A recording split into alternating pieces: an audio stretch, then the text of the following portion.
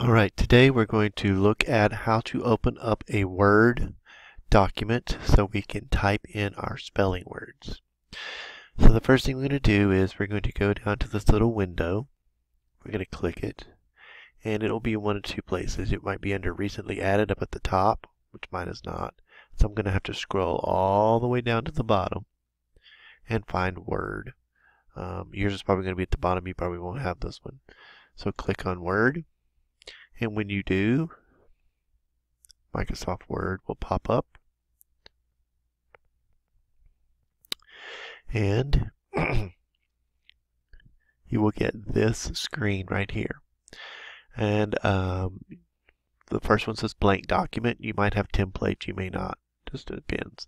But blank documents be at the front. Just click that. And you will come up with a new document.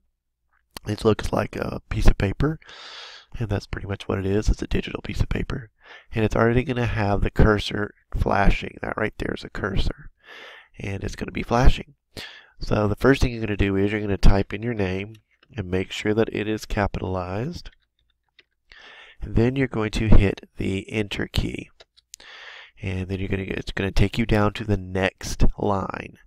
And then you're going to start typing your words and you're going to enter the enter key again to make it go down to the next and you're going to keep going until you've typed all of your words in. When you finish typing all of your words, you're going to raise your hand and I'm going to come see if I can get it to print for you. And uh, that's what we're doing today.